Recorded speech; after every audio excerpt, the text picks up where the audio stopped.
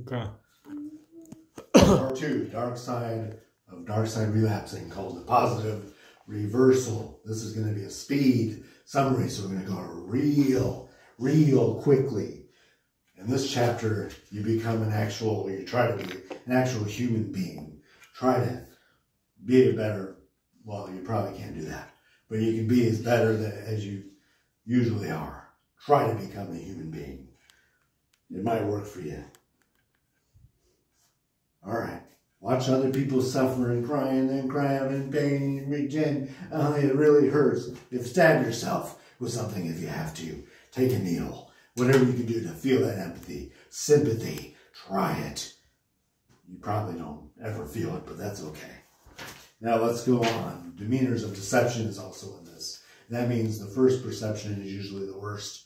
And the perception people that you knew before, you like them and you don't.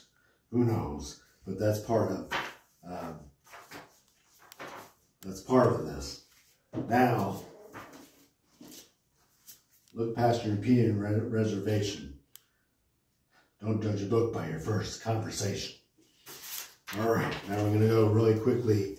If you can zoom in here, or if you can look at this, you think your planets revolve around yourself. Well, guess what? You are cosmically insignificant. Nobody cares.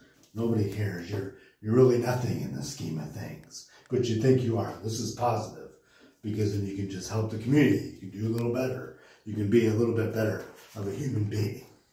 You're really just an ant. Like this ant in the scheme of life. Nobody really cares. That's all you are. But remember, that's a good thing because you can just be like others.